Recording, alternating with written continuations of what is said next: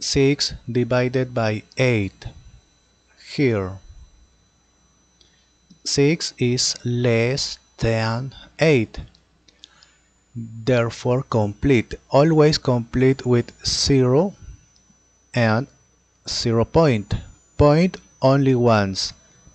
60 is not less than 8 therefore with 60 8 multiply by 9 is uh, 72 excessive. Multiply by 8 is 64 excessive.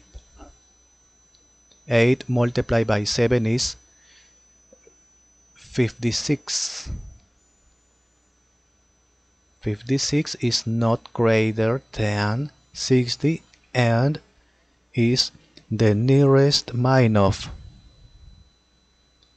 subtract is 4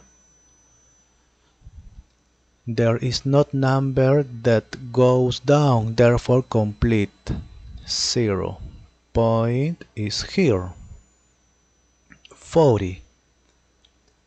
8 multiplied by 5 is 40. Subtract 0.